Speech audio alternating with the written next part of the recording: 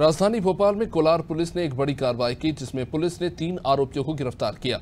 बताया जा रहा है कि आरोपी भीड़ भाड़ वाले इलाकों में मोबाइल चोरी की वारदातों को अंजाम देते थे और बंगाल के एक खरीदार को मोबाइल बेचते थे। हालाँकि पुलिस ने बंगाल के खरीदार को भी इसमें गिरफ़्तार किया है। पुलिस पकड़े गए आरोपियों से पूछताछ कर रही है, जिससे कई खुलासे होने की उम्मीद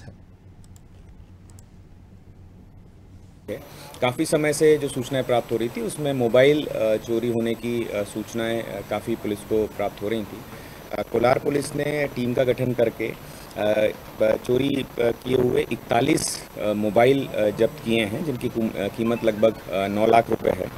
और पश्चिम बंगाल का आरोपी है, जो इन मोबाइलों को खरीदता है।